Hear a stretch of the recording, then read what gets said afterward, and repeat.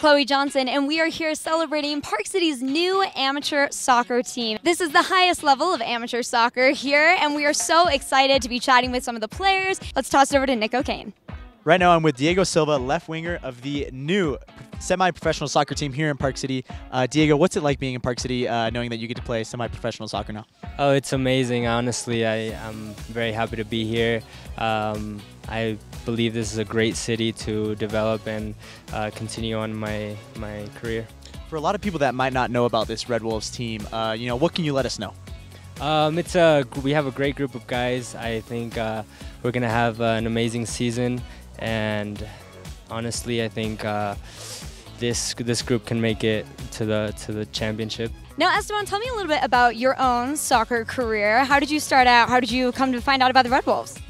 Okay, so I started off in Monterrey, Mexico. That's where I'm from, and uh, I signed up my first contract there when I was 13 years old, playing on the on the third division for Monterrey uh, Football Club. And then uh, Patrick, I I've known him very well. He he was the assistant coach for the RSL U17, um, and that's where he saw me play, and he invited me to be part of this fantastic project. And you guys have already started practicing a little bit. How's it going? How's the team kind of vibing together? Oh, it's it's fantastic. I think we have we have a lot of a lot of quality on this team, and uh, I think we're we're just trying to get to know each other and how, how we how we play. And how are you thinking about our town of Park City?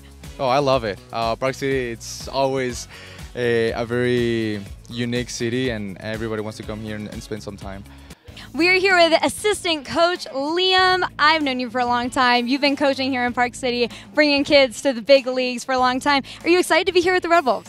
Absolutely. It's, uh, it's a next level soccer team, high standard, and uh, something our wonderful alpine ski town has needed.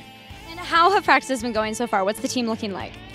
We're very good. We've got a roster of 29 uh, with um, a couple more players to add. We're getting college uh, college players back shortly, so we've got some Division One players and uh, there's a lot of good talent in Salt Lake, so with uh, practice has been going really well. I mean, it's every boy's dream uh, since they're a kid to play at the highest level possible, and it's an opportunity for every person in Utah to be able to play for a semi-professional team inaugural year uh, here locally. So. What's that transition been like uh, growing up playing, uh, you know, in southern or uh, South Salt Lake, and now playing at a much higher level? Uh, yeah, it's a good transition. Uh, I had an opportunity to play out of state as well. Uh, when I was 15 years old, I was able to play at the Portland Timbers Youth Academy, uh, kind of get that feeling. Uh, but this is definitely a higher level.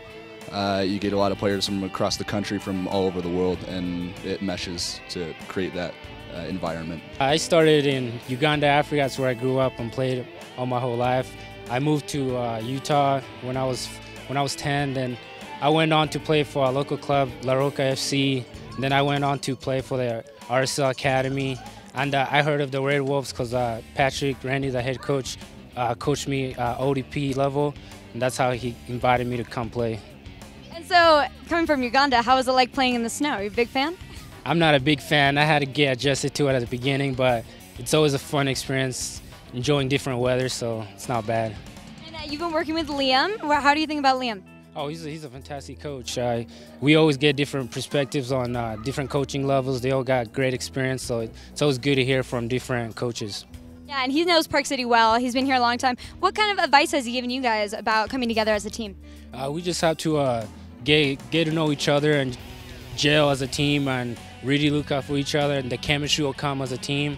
And I think we're doing so far, we're doing so well in training that everything is just coming together. It's a great group of guys, not only on the field, but off the field as well.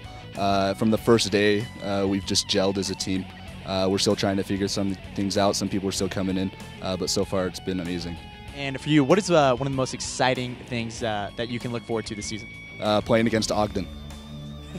the other semi-professional team in state here. Exactly, and I think it's an opportunity for Utahns is, uh, to have two teams here in Utah, uh, and obviously we want to stamp our ground a little bit uh, and say that we're here.